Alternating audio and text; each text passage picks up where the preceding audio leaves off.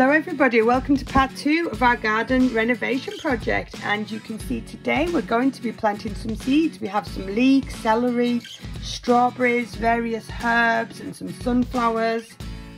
It's been raining here for about a week. We've been able to do no work in the garden. It's really frustrating. I am desperate to get some seeds in so we're going to give it a go today.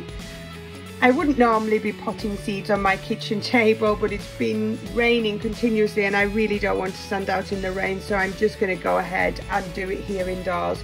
We have some different pots. We also have a small propagator that we're going to just put on the windowsill. I've also got some of these plastic containers that I got from the supermarket. They're used to house um, yogurts and things like that and I just grabbed these from the supermarket. I thought I could do my own makeshift propagators and see if that works. So like everything else in this project, it's all an experiment. We do have limited space in the house. We can't put too many in, but we're gonna give it a go and see what we manage to grow in these. Here we go.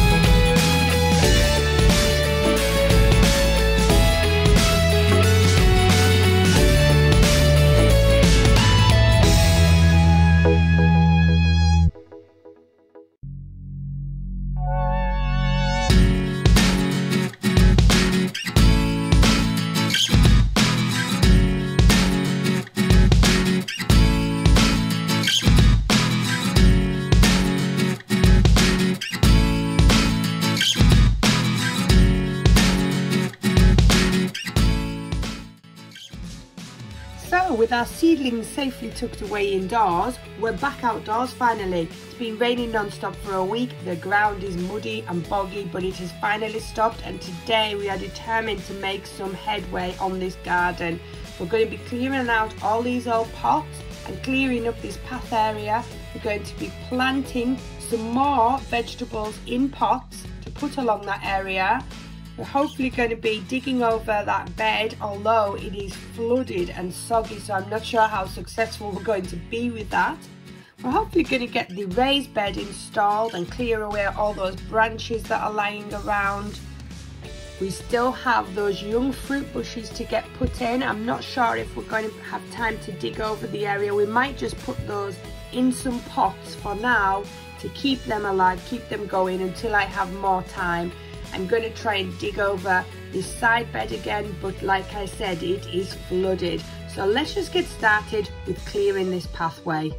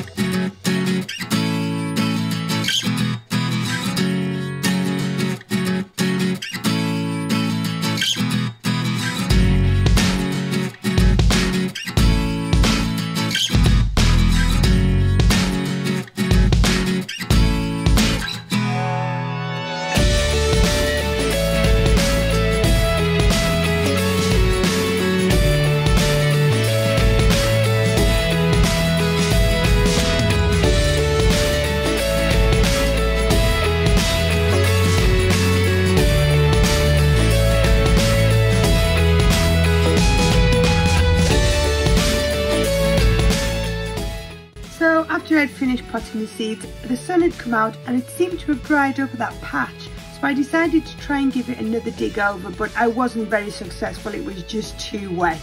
I did, however, get my raised bed down, one of them, and partially filled, as you can see there, before I went back to the potting area to try and get some of those seed potatoes into these bags.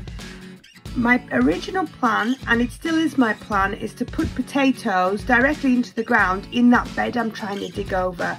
But it is so wet you would not believe the amount of rain we've had. So I do have several sprouting potatoes and I do want to get some in. So I do have two of these sort of grow bags. They've got holes in the bottom. I'm just rolling them down so that I can put some compost in there. I'm going to put the seed potatoes in and then as they grow I can put more compost in on top and hopefully we'll get some really nice potatoes out of these bags. I'm still going to put some potatoes in the garden, in the ground direct, but for now, I think these bags are going to work great. Okay, so I have some seed potato here, the Charlottes. I have had them a little while. I don't, I don't know much about potatoes. I do think you're supposed to put two in, and say, a bag like this. Um, I guess we'll just put two in and see what happens. So I bought these young bushes a while ago and they've just been sitting waiting to go in.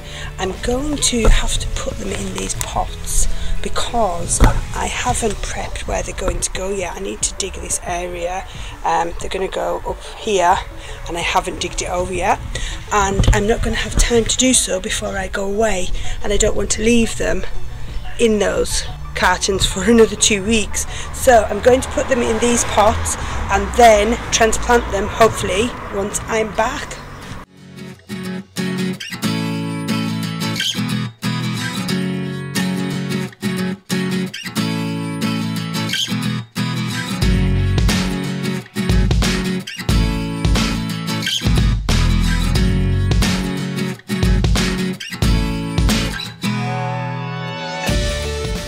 So I could only get two of them in because I ran out of compost. I thought I had more, but I haven't. I've put two in.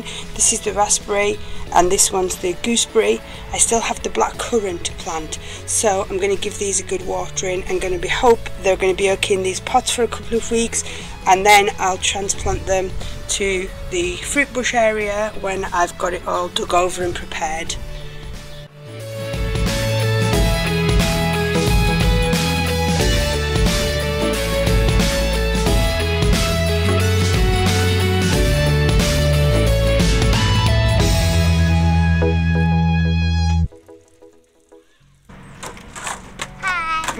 Girls, we yeah. managed to get some plants in yesterday.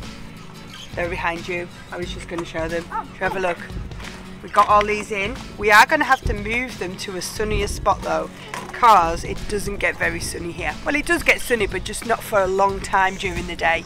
So we are going to move these around the back of the house where they're going to get sun all day. Hopefully once they're established, I think I'm going to move them back here. I know they are going to need sun the whole time, but I think while they're seeds we do need to get them some more sun so I'm going to move them run, round the back. And I have got some more compost now so we can get whoops Rosie's on her roller skates. That was almost an accident wasn't it? Yeah. Oh, I'm rolling backwards. Wait what's this. Bye bye so I'm going to get those other fruit bushes in now and that's those done um, I will just turn the camera around and show you I'm not being very successful you can see underfoot here how boggy and squelchy this ground still is. I'm going to have to wait. I'm just not going to be able to get those potatoes and those onions that I was planning to in there anytime soon. I've got my first raised bed. This raised bed, I mentioned in our first video that I was going to be building the raised beds but I seen this one and it was only £20 and that was with the hinges, the brackets, the, the wood and I thought that was quite a good price. It was actually cheaper than it would have cost me to buy the wood, well at the place I was at. So I just thought I would buy that to get going. Um, so I just need to put some compost in the top and start getting some things planted in there. So it is taking shape. So I've decided to move all these seeds that we planted and potatoes we planted into the back garden. And I'm also going to plant these other three bushes. The black currant that we couldn't do because we ran out of compost I also bought another raspberry and I already had this blueberry but I didn't have the correct compost for it. So we're going to put those three in now in these three pots just for now uh, they are going to go in the front garden eventually and then that is it for a little while because we are going to be going away. I'm going to get someone to come and water these while we were away and I've put them in this position because this is the sunniest place on our property so hopefully when we come back we'll have some really nice plants in here.